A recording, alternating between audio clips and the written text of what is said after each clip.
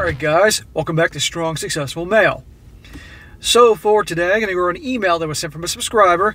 It's from a guy, he shares his story, which is quite entertaining my dad, about how when he was much younger, he made the mistake that so many guys do in a lot of the stories I go over, where he got married way too young, way too quickly without really getting to know who she was, and I do mean way too quickly. And to no surprise, things start to go to hell in a handbasket real quick, where you're going to see how she starts to really try to control him, who he hangs out with, what he does, etc., etc. And again, as you can imagine, things don't go too well, and more and more BS. And eventually, just like a lot of these stories, well, she starts acting in a way like a lot of these gals do when they lose complete and all respect for the guy, who they can control and all that.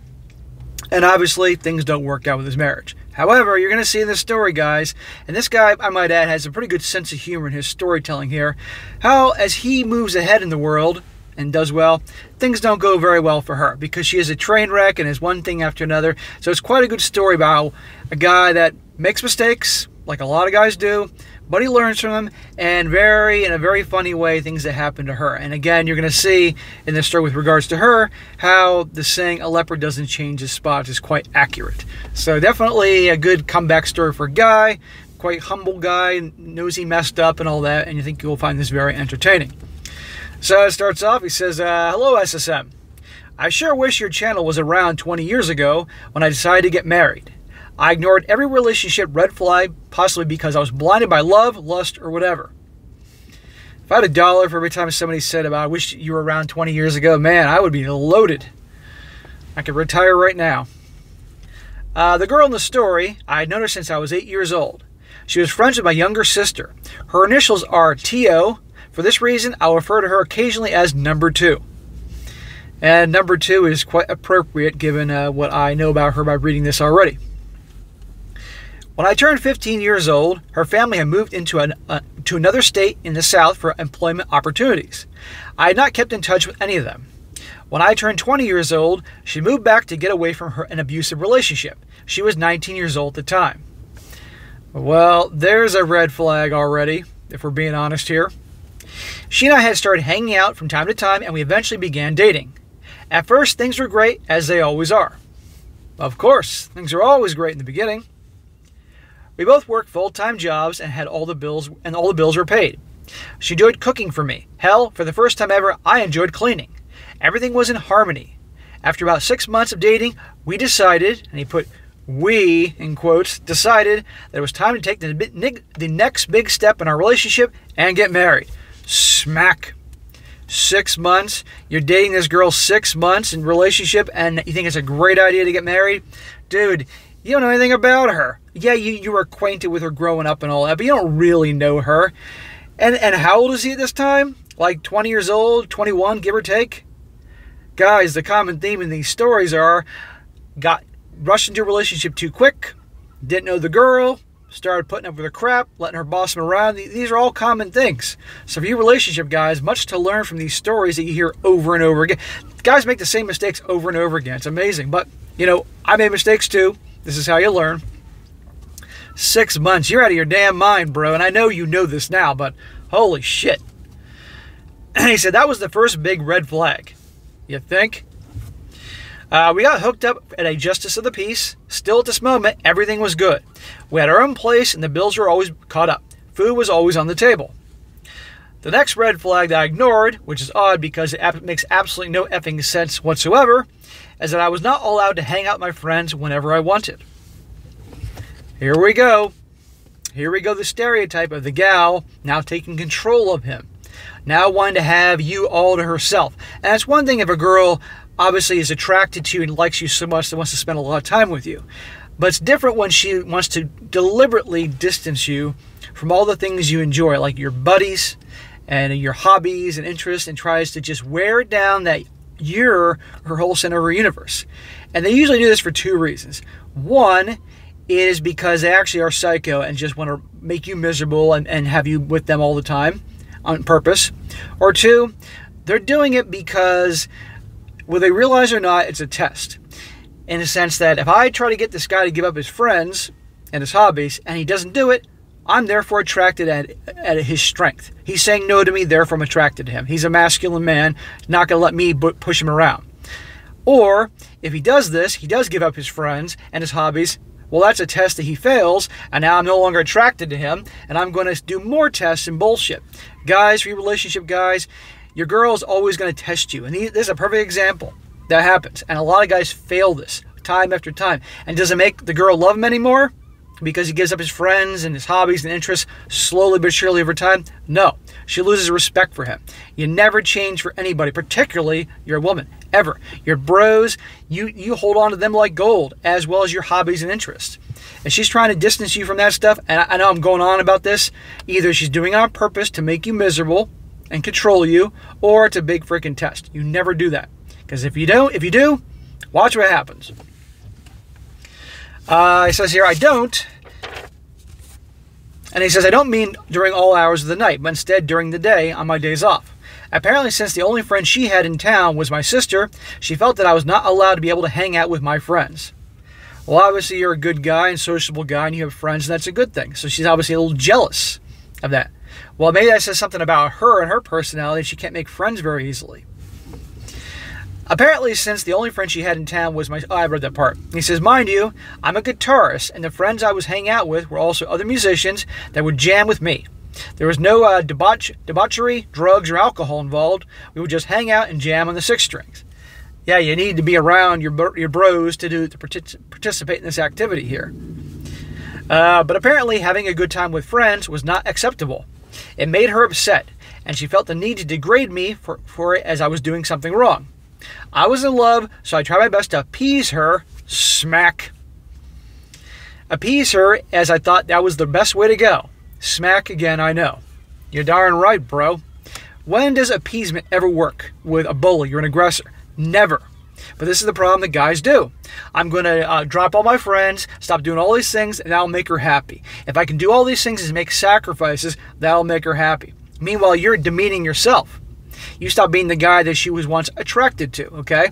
So, guys, never do this. Ever. It's not going to go well. And he knows this. And I'm just pointing this out to, as a teaching tool to help other dudes. It's amazing to me how many guys do this. It's unbelievable. And they wonder, not, not that, that not that they wonder why she loses respect for them. Even though she's the one that wanted her them to do that. And you'll have some that actually don't get it. I kid you not. They'll be like, "Oh, you changed, you changed," and the guy's like, "What do you mean? Yeah, you want me to spend more time with you. You want me to give up this to be with you, and now you're saying I changed? Well, I don't know." And she'll end up going for a guy, cheating on him with a guy who doesn't do any of that stuff. It's amazing. He says, a few months go by, and she comes to me with this wonderful idea, wonderful offer from her father. He said that we can move into the basement apartment in his house rent free as long as we helped out with some household duties, such as mowing the lawn. And it, was, it would allow us the opportunity to continue our education in college as it was much cheaper in his state than it was in mine. This enticed me, so I transferred my job, packed up my stuff, and headed south. Well, you may, may have seen some opportunities there, and I'm all for uh, going for opportunities, but you're then moving to her turf. That's never a good idea. He says it was awesome. The weather was great, the air was always warm, we had a swimming pool. I made new friends at work that I could hang out with. I truly enjoyed the life I was building in this new place. I was working full time, uh, full time hours, my bosses were very nice. Of course, I was always a very hard worker, so my rapport with supervisors was usually good. I was going to college, making even new friends, and I was sporting a 4.0 GPA with very little effort. I was working out five days a week, whether it be running or lifting weights. At this moment, the stars were aligned. Or so I thought. Yeah, so you thought. But let's review here. Notice he said he moved to a new place. Look how he made the best of it. He adapted, made new friends, work was going well, busting his butt, going to the gym five days a week, 4.0 grade point average. I mean, it's almost a little too good to be true, but this guy can adapt and he can uh, make things happen wherever he goes. And that's awesome. This was a guy on his grind. The problem was he was married at this age. Can you imagine if he wasn't married to her, but he was on his grind like this, the type of things he could have made happen for himself in his early 20s there? And I know he's doing well now, but you get my point. This is why I tell you guys the choices you make in your, uh, your late teens and 20s is pretty much going to set the course of your life. So choose wisely who you hang out with, where you go, what you do. It's very important, guys. Apparently, number two, his wife, had been having reservations about our relationship. Ah, imagine that, because you're such an awful husband. You know, spent you moved to where she wanted to go. You're doing well, supporting her. You're obviously not hanging out with those friends anymore. Reservations, huh? To me, this was odd because I was a great husband. I worked hard at everything I did, whether it be my employment, schoolwork, housework, or dedication to her needs. She had been hanging out with a couple of new friends that she met at work, both guys. Red flag.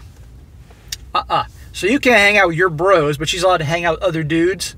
That's a problem. Now, your first thought might be that she was seeing them, but, but believe me, if there's anything in this world that I'm sure of, is that number two was not sleeping with those two guys. She wasn't on their menu, if you catch my drift. Yeah, well, I've heard stories where women would sleep sleep with complete sleazeballs, 400 pound dudes, looking like they haven't taken a bath in a, in a month, just because they want some attention. So you never know here. But anyhow, he says, uh, I had occasionally gone out with her and these two guys from time to time. They were actually good people, and I had no problem with them being friends with her. In fact, one of them had helped me towards the end of the relationship with number two. So I worked third shift in a retail store that was open 24 hours. This allowed me to go to school full time during the day. One night at around 11:30 p.m., her friend had shown up at my workplace and said I should probably call my wife to see where she was at. It turns out that she had set up a date with some other guy to hang out at a sports bar across town that night while I was working. So there you go. Nothing may have been going on with those two dudes you mentioned a moment ago, but that set the precedent for her to, well, if I can hang out with those guys, it's perfectly okay for me to hang out with other guys. See what I'm talking about here? Again? So, if you're married or in a serious relationship, your girl shouldn't be hanging out with other dudes like uh, their buddies. Not a good idea, right here. That set the stage. But you'll see this as a blessing in disguise in the long term, in the big picture here. Uh, let's see here. Her friend was disgusted that a married woman would do that to her husband, so he made sure that I knew what was going on. I thanked him and quickly gave her a call. When she finally picked up the second call, I asked her where she was and what she was doing. She said she was just hanging out with some friends and there was nothing going on. I was suspicious, but I moved on. Smack. You should not have moved on. You should not let that go. It was bullshit. She was cheating or setting the stage to cheat. And you're going to see that I'm right. Uh, the next time something happened was when we were both in our apartment. The phone rang, which was in our bedroom, and I went to go answer it since I was the closest. I don't mean by a couple feet either. It was like 10 feet from the door, and she was in an entirely different part of the apartment. As I turned to go over to the door, she literally came running past me to get there first. I told her I would get it, and number two said it was fine. She was expecting a call. So the phone rings, I'm picturing this, and he walks over to get it, and she comes tearing in like her ass is on fire to answer the phone. Gee, I wonder why. Who is she expecting a call from? Now, this type of behavior was never exhibited by her before, so I thought it was quite odd. Pay attention to people's actions, gentlemen. She went to the bedroom and clo- quickly closed the door behind her. I waited a couple I waited a couple seconds, stunned, and then snapped out of it.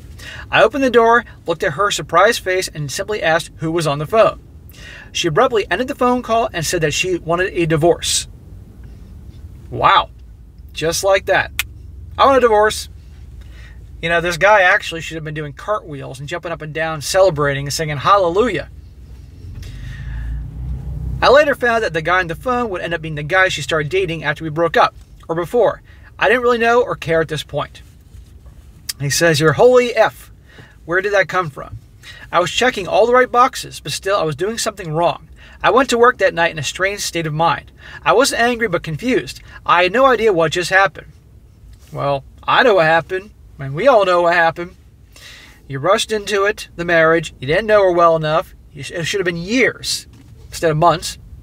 And, and probably by then you realized what she was like. You never would have married at all. And then you start giving up all these things for her and being compliant. Women do not respect weakness, and when a man lets her tell him what to do, boss him around, he changes his things about him to make her happy, puts her on a pedestal, doesn't check her when she's being an a hole, she loses respect for the guy because she sees weakness. And there's more tests and more tests, and she wants the guy to stand up to her. And when uh, he doesn't do that, loses respect for him, and sooner or later will start cheating or leave him. This is what you have right here. I'm willing to bet you that dude she was cheating with wasn't let wasn't uh, letting her tell him what to do, and she found that attractive. But also, she is psycho, so let's be honest there too. However, I felt my stomach that the time was right for me to move on. The following day, I dropped out of my classes at school since it was out of state, and I had nowhere to live, which, um, which was more of a priority for me. I requested a transfer at work back to my home state and was accepted. Within a week, I packed my car full of what I could carry. Number two and I had split all our assets, and I drove 12 hours through the night back to where I was born. I can't blame you if you want to just pick up your, pick up your stuff and run. One could argue, well, you're both in the apartment lease and blah, blah, blah, but you just want to get the hell away from her. I don't blame you at all. Now, you didn't mention about divorce or anything like that, but obviously that's happening. He says, I won't lie. Things were a little rough from the start, but with the help of from people like my grandmother and my father, I made it back on my feet again. Of course you did. A man can always get back on track. Even if it's difficult, a man can do this. So you guys remember that. They're in bad relationships right now, but are afraid to leave because of the ramifications that will be hard. You can get back on your feet. Plenty of stories prove that. I began dating as soon as I felt good enough to do so, but there was no way I was delving into a relationship that deep that deeply again. Within six weeks at work, I got promoted to a supervisor role. Everything was going well. Awesome. You've proven to be resourceful and being able to adapt and start over, and yet you're doing it again. That's great, bro. Uh, until the day until the day I got a call from my boss about something weird, weird, some weird accounting issue. Apparently, a check that was in my name had been bounced in the store I had just transferred from. This was odd because I never wrote checks to pay for merchandise. I only used checks to pay bills. We looked at the details of the check and noticed that the day it was redeemed was the day that I was already out of state and back home. This meant that number two must have done something with it. I quickly gave her a call. I told her what was going on and asked for an explanation. She said, and I quote, I keep my things in a filing cabinet drawer in a new place that I'm staying, and there are a lot of people living here. One of them must have gone through my stuff and taken the check and used it at the store. What a load of crap. Oh, people were at my house and people living here, so they must have done it. Not me, somebody else. He says, I did not believe this one word. I did not believe one word she said, so I gave her a quick ultimatum. I told her she needs to call the police and file a report right away, or I was going to call in myself. She said, okay. So, a few weeks go by, and her brother calls me. I was still friends with him as he didn't really like the way his sister had ended things with me. He tells me that his sister ended up being arrested and was currently in jail. After all the crap she put him through, that put a big smile on my face, guys. Apparently, she did call the police and told them that somebody had stolen the check and used it at the store. Of course, the police went to the store and asked to view the camera footage. Number two was so effing stupid that she didn't realize she was being recorded. What a dumbass. She was clearly the one cashing the check, so they went right back to her and charged her for filing a false police report, perjury, and writing a bad check. Not gonna lie, this made me a little giddy inside. I believe she spent a couple weeks in jail and then had probation for a period of time. I don't know the details, nor do I care. That's hilarious, man. What an idiot. Anyhow, there were a few things of mine left at her father's house, and I had been cordially corresponding with him. We agreed upon a date that I could come and pick them up. It is a 12 hour drive, so I brought my new girlfriend at the time as a second driver since we were driving straight through the night. Now, when I left, number two was about 120 pounds. She was working out with me, and I was motivating her to stay in shape. After I left, her motivation apparently started coming from Krispy Kreme. She ballooned up to over 200 pounds in less than six months, and she got pregnant by her new boyfriend, soon to be husband. well, that's satisfying. If she went from 120 pounds to 200, that is a massive percentage jump. Holy crap. That's one big girl. My new girlfriend was about 105 pounds and quite good looking. There you go, man. Nothing that will make an ex girlfriend or wife crazy is have a younger, hotter girlfriend. And he's on the way to her home with his new, young, hot girlfriend. With that being said, I was only speaking with number two's father, and never and, and never sent and, ne- and never her since the, since it was his house, and I was going to. Uh, number two at that point was living with her new boyfriend, husband. However, she had found that I was going to be there to pick up my things, and she wanted to make sure I only grabbed what was mine. I walked in the front door, and there she stood, all 200 plus pounds of her. What I'm about to tell you is exactly how the conversation went down. It was short and simple. Number two said, Hello, you look good. I said, You gained a lot of weight. At that point, she was shocked. So she left the conversation. I wasn't trying to be an ass, I was just pointing out an obvious fact. Personally, when somebody needs to hear the truth, I'm more than happy to be honest with them. I find that lying is detrimental to finding solutions and problems. It also helps that I didn't give a crap about her feelings, and since she tried screwing me over, I had no problem with targeting her weaknesses. He was just making an observation, that's all. Well, this all happened about 20 years ago. Since then, I became a father, got another promotion for work, and was transferred to another state. I'm enjoying life. I'm not with my son's mother, but we're very amicable with one another. Dude, are you telling me you got married a second time and it didn't work out? Is that what you're telling me? I'm glad you have a son and you have a good thing with him, but good lord, bro. But sounds like now he's really learned and things are going good. Please tell me with your second marriage, you at least waited longer than six months to do that all over again. Smack. Anyhow, my son lives with me full time and I do not require an, any type of child support from her. She is married she has married a pretty cool dude that I get along with and everything's in harmony. I've finally gone back to school to work on my degree in computer science, which by the way is going very well, and I have plans for my life. I'm doing everything right and staying positive the entire way. Good for you, man, with the exception of getting married again a second time after all that shit. Good for you. I'm glad you're doing well. Do not get married a third time, dude. You, I, I hereby command you not to get married a third time. You can't be trusted in that area. Just keep doing what you're doing. Be on your grind. You want to date, relationships, fine. Don't get married. It's bad luck for you. I thought that uh, I had not thought of number two for the longest time because that short moment of my life meant nothing more to me than learning a learning experience, such as touching a hot stove. One needs only to do it once to know not to do it again. Yeah, but you did do it again. I don't know. I don't know how things work with your second marriage. I'm assuming you didn't rush into it, but that didn't work out well. That didn't work out as well. Like I said, do not get married a third time. I'll find you and slap you.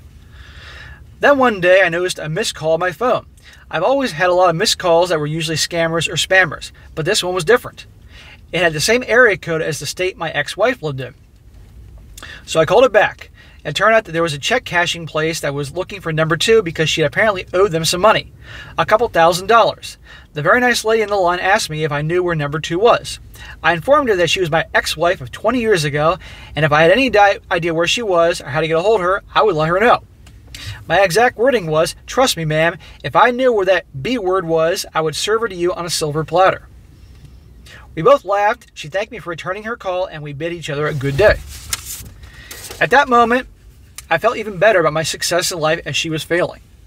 Now, some might say that it was evil to feel this way about another human being, but I assure you, she is a devil in disguise. She wanted to destroy me for absolutely no reason. I am a good person with good intentions, and I love life. Apparently, she was offended by that, so she can F off. I wouldn't feel bad. Not at all. She was a piece of trash, tried to ruin you, and for whatever her reasons were, back to the whole beginning of either trying to distance you from friends and things you enjoy because she's testing you, test your strength, which sadly a lot do, or she was doing on purpose just to make you miserable, whatever that happens to be, she deserves it.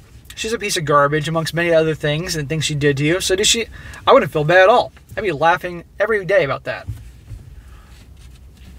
Now, I do not feel that all women are evil. In fact, I would say that the majority have good intentions. Yeah, well, as the saying goes, the road to hell is paved with good intentions. I do not believe they're all evil too, but believe me, there are a lot that are in that category in this world, especially nowadays. My brother, my brother and close friends are all in solid relationships with great wives. It is the type of relationship I originally thought I was getting into. But but to live is but, to live is to learn. And what I learned is that my money, my happiness, my success, my family, and my friends, my hobbies, and my businesses are not to be intruded upon by a woman for any reason. If I begin talking to a woman and she even hints at me, change, me changing something about myself, no matter how minuscule, I send her away. These are all red flags to show you how women can start to manipulate a man. It happens often, and men today are more than aware of them. We all make mistakes, and that is okay. It's just it just isn't okay to keep making the same mistakes. That is insanity. Be safe and well. Well, bro, be sa- be safe and well to you too. And uh, great story there. And you made mistakes when you're younger. You didn't know any better. This is a lot of things a lot of guys do, but you learn now. And I'm again back to the whole thing because you mentioned you obviously got married a second time. Hope you've truly learned about that. No third marriage for you. Don't keep doing the same thing over and over again and thinking it'll be different because it's not. You want to do relationships, knock yourself out, but do not get freaking married. Can't be trusted. But aside from that, you're doing great. I'm glad you got a son. You got a good thing going with him. And hope he does well to help you can be a good role model to him. He does well, I'm sure. Make sure he watches my channel so he doesn't make the same mistakes that a lot of guys do. And keep focusing on your grind, your purpose, staying in good health, staying in good shape, doing well for yourself. And you set a good example for him, and you have a great life because you're obviously in your early 40s, like me. So, well, technically, I'm mid 40s now, that I'm 44. You got your whole life ahead of you and it's just going to get better and better for you if you make the right choices. And I'm pretty sure you will. So, bro, great story. Thank you for sharing it. It will help some guys out. So, guys, you can see the learning, the lessons here. Again, don't rush into relationships. Really get to know the gal before you get any kind, any kind of serious commitment, let alone if you marry her, and you know my opinion about that.